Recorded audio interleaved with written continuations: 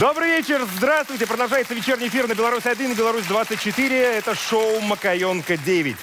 Ну что ж, вроде как спортивный год уже завершен, европейские игры прошли, чемпионаты страны тоже, матч состоялся между Европой и США. Впереди Токио, к Олимпиаде готовится и большой спорт, и телевидение. Трансляций будет много. Ну а Макаенко-9 понемногу вас будет знакомить с членами нашей национальной сборной. И первая наша такая гостья, чемпионка Европы в беге с барьерами. Она уже выполнила олимпийский норматив и представит Беларусь на играх в Токио. Эльвира Герман на Макаенко-9. Здрасте, приветствую. Располагайтесь.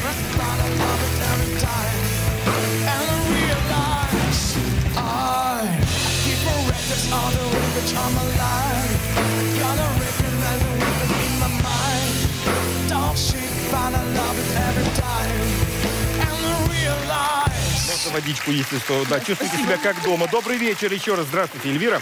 Здравствуйте. Не секрет, что вообще, в принципе, в барьерном беге лидируют, ну, Австралия, США, наверное, да, это такие э, стереотипные лидеры, скажем так, это правда, да. А, но у них сейчас мировой рекорд, олимпийский пока принадлежит, и первое место заняла а, на матче американка. Почему вообще так получается? От чего это зависит? Честно, я не знаю, чего это зависит, но на самом деле я знаю только одно, что их можно побеждать, их нужно побеждать, и лично я к этому и стремлюсь. И мне часто говорят, что вот они там черненькие, и как ты с ними вообще соперничаешь, и вообще реально ли их обогнать? Я считаю, что реально. Я считаю, что дело не в внешности, не в каких-то гендерных там принадлежностях. Я считаю, что дело просто в самом человеке. Если ты хочешь, ты добьешься. Вот это подход, а! Ну что ж, несмотря на, на все стереотипы, на все вот эти вот э, предубеждения, на, в матче тебе удалось войти в тройку лидеров. И э, вот твое мнение, успех больше зависит от тренера, от спортсмена или от врачей, от медиков, как уже тоже шутят? На самом деле от всего ну, полностью зависит, потому что не может зависеть только от спортсмена или только от тренера, или только от медиков. В любом случае это работа и тренера, и спортсменов, и людей, которые помогают, массажистов, э, докторов и так далее. Ну, Я читал, что ты была не самая прилежная ученица и э, воспитанница, да? Ты сп- спорила с тренерами, да? Да, было такое. А что На было? деле, Расскажи, какие- какую-нибудь историю расскажи нам.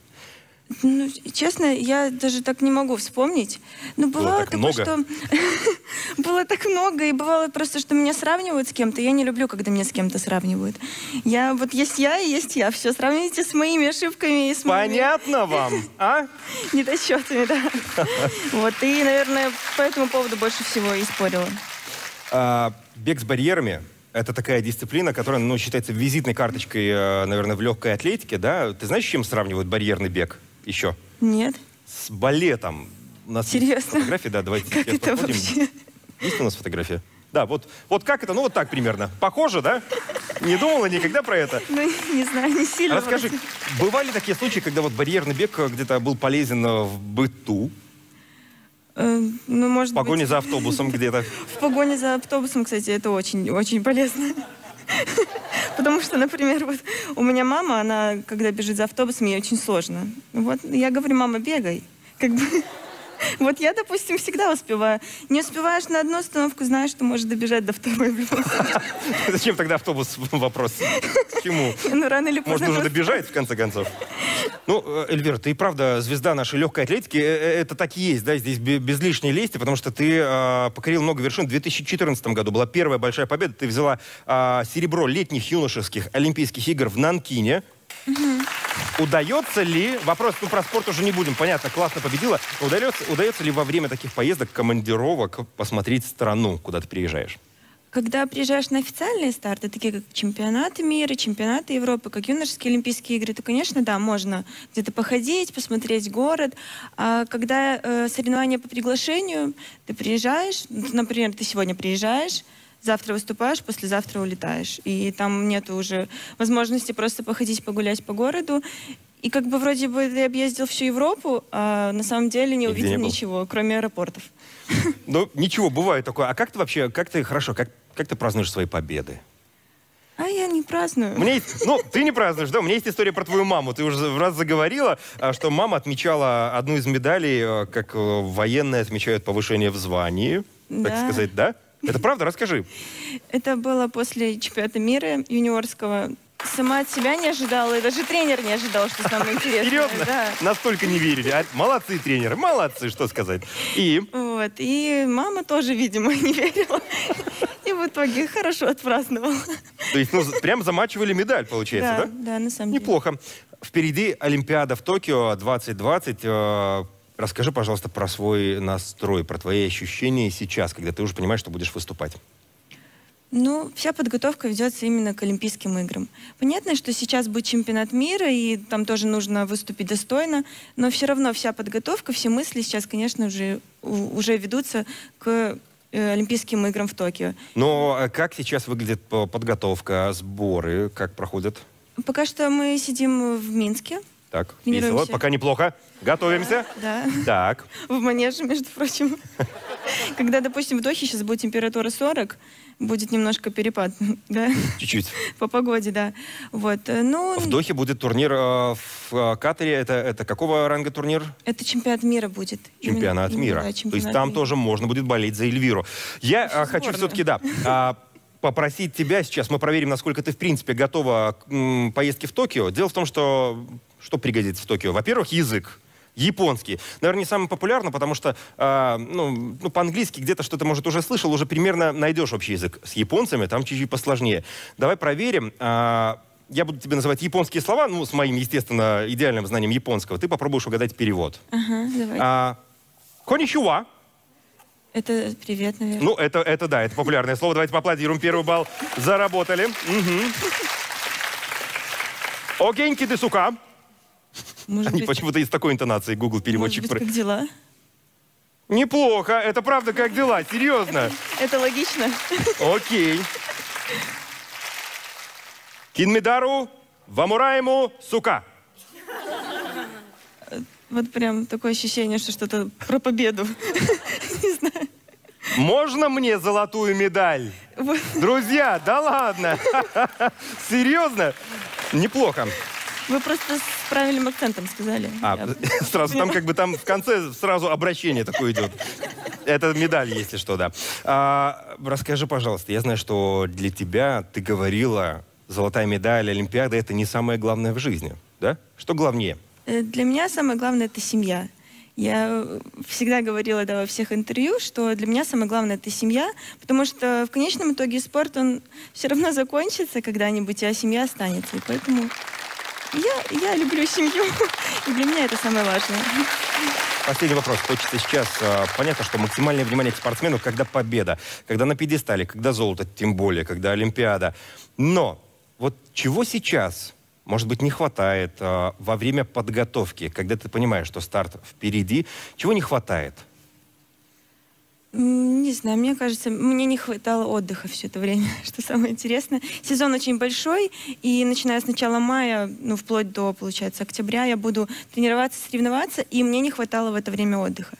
Поэтому сейчас есть такое ощущение, что вот если бы я отдохнула где-то там, то, может быть, э, не знаю, было бы больше сил, но в любом случае я настроена, и настроена по-хорошему. Как сложится, не знаю, но я настроена, это самое главное, считаю. Ну что ж, сейчас я предлагаю сыграть, поскольку э, Олимпиада, в принципе, событие, которое важно и для мира спорта, и для телевидения, а, предлагаю сыграть в наш интерактив, который так и называется «Бегущая строка».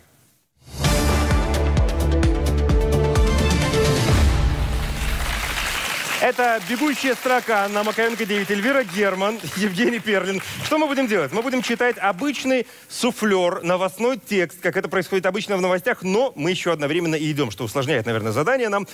Главное, мне сейчас не уйти далеко. У нас будет один суфлер, мы его читаем. Как только кто-то ошибается, добавляет себе одну передачу, одну скорость. Договорились? Да. Ну что, поехали, начинаем? В Минском зоопарке 1 октября в Международный день пожилых людей пройдут бесплатные обзорные экскурсии для пожилых граждан. А, группы обзорных экскурсий будут собираться у главного входа в 11.00, в 13.00 и в 15.00. Посетители смогут э, э, а, больше узнать о природе, полюбоваться на редчайших животных, птиц, рыб и рептилий. Православные верующие сегодня отмечают Рождество Пресвятой Богородицы, один из двунадесятых непереходящих праздников, которые установлены в честь рождения Пречистой Девы Марии. Именно с этого дня ведет свой отсчет годичный круг церковных празднеств. Огромную историко-географическую карту Чашникского района выложили из разноцветной плитки в райцентре. Карта площадью 432 появилась в центре города. Рядом с созданием музея проект реализовали примерно за три месяца. На карте изображены основные населенные пункты и дороги на Волокомыльское ГРЭС. В будущем появятся другие предприятия района. Ну а сейчас к новостям спорта. Во второй день чемпионата мира по вольной борьбе в Нур-Султане белорусские спортсмены не смогли выйти в финал турнира. В олимпийских весовых категориях выступали Азамат Нуриков и Виталий Песняк. Нуриков проиграл олимпийскому чемпиону Джордану Барроузу из США Добавляем. схватки. Все, я не знаю. А у меня новости из моих любимых соцсетей. Facebook из-за утечки данных приостановил работу десятков тысяч приложений, примерно 400 разработчиков. Приложение, имеющее доступ к персональным данным пользователей соцсети, компания начала изучать еще в марте прошлого года. Ага, специалисты отмечают, что проверили миллион приложений, расследование продолжается. У меня уже 7 скорость. Завершилась активная фаза совместного учения «Щит Союза-2019». Белорусские войска покидают российский полигон Мулин, Мулина. На протяжении Добавляем, недели добавляем. войска двух стран выполняли задачи маневров, представили самые разные войска, линия оборон, держали танки, прикрытие, артиллерию, Добавляем, добавляем, да, целую передачу добавляем. беспилотники. Все. В это воскресенье Минск вновь присоединится ко Всемирному дню без автомобиля. Улицы города заполонят велосипедисты. В 9 вечера на Октябрьской площади по традиции стартует массовый забег. А водители А дома бесплатно смогут остаться ездить на общественном транспорте. Восемь. Семья Петра и Ольги Мечковских из Лебедева Добавляем. Младичинского района одержала победу в волосном этапе республиканского сельскохозяйственного проекта «Властелин села-2019». Областной этап проекта состоялся сегодня в Любани. За звание «Самый трудолюбивый» боролись 17 семей из разных уголков столичного региона. Может, рекламную паузу объявим, пожалуйста. Нормально. Барановичах рабочие при прокладке канализации выкопали артиллерийский ствол со снарядом времен Великой Отечественной войны. В милицию 18 сентября около 14.00 позвонил прораб. Он сообщил, что во дворе дома на улице Заслонова работники занимались прокладкой канализационной системы, выполняли земляные работы. Они увидели в грунте подозрительный металлический предмет, который оказался артиллерийским стволом со снарядом. Специалисты саперно-пиротехнической группы вывоз- а, вывезли а, пушечный снаряд и боеприпас. У меня 9 уже. Численность популяции благородного оленя в белорусских лесах за 2006 по 2018 год выросла более чем в два раза. За последние годы в стране заметно выросла численность копытных животных. По данным Минлесхоза, в Беларуси сегодня насчитывается около 34-35 тысяч особей благородного оленя. Наблюдается неплохой рост численности лося и косули. А в Гродно... Друзья, невозможно человека обыграть просто. И в новости можно брать, и на Олимпиаде будем болеть. Ваши аплодисменты. Эльвира Герман. Поздравляю.